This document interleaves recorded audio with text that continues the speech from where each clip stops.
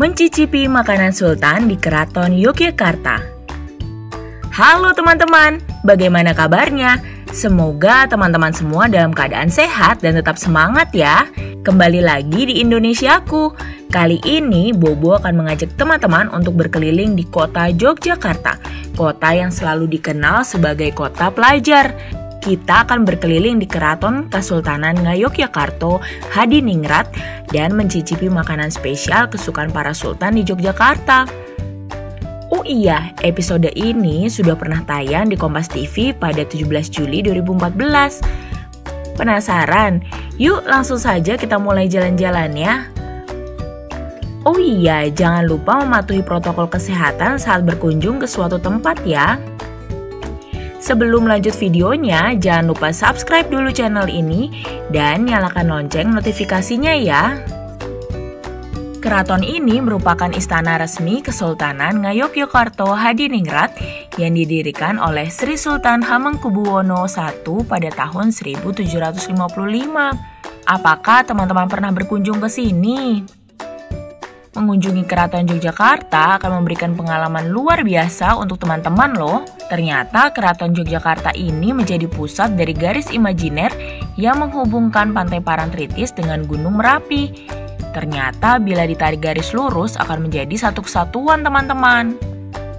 Bila mengunjungi Keraton Yogyakarta, kita dapat belajar banyak tentang sejarah, mulai dari melihat langsung kegiatan abdi dalam Keraton Yogyakarta, melihat benda bersejarah, dan juga menyaksikan pertunjukan seni yang beragam setiap harinya. Abdi dalam atau abdi budaya adalah orang yang bisa dan mampu memberikan suri tauladan bagi masyarakat luas. Ciri khas abdi dalam Keraton Yogyakarta terletak pada pakaian. Nah, selain itu, kita juga bisa ikut mencicipi makanan yang biasa disajikan di dalam keraton di restoran Balai Raos. Di sini menyajikan hidangan khusus kesukaan raja-raja zaman dahulu dari Sri Sultan Hamengkubuwono VIII sampai dengan Sri Sultan Hamengkubuwono X. Tujuannya untuk melestarikan kebudayaan keraton khususnya kuliner agar semakin banyak dikenal luas oleh masyarakat. Selain itu juga untuk menarik wisatawan berkunjung ke Yogyakarta. Wah, menarik ya. Lalu makanan apa yang akan kita coba hari ini ya? Kali ini kita akan diajak untuk mencicipi sanggar, samur piyi, dan rondo kepomo. Nama-nama masakan keraton memang unik ya teman-teman. Sanggar dan semur piyik merupakan masakan kesukaan Sri Sultan Hamengkubuwono ke-7. Sanggar terbuat dari daging sapi dan semur piyik ini adalah makanan olahan dari burung dara. Masakan ini dulunya dibuat oleh pawon atau dapur kerajaan.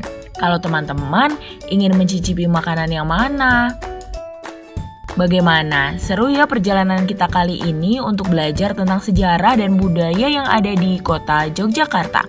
Apakah teman-teman tertarik untuk segera berkunjung ke Yogyakarta dan mengunjungi Keraton Yogyakarta? Teman-teman, jangan lupa kunjungi website untuk anak ya, bobo.id.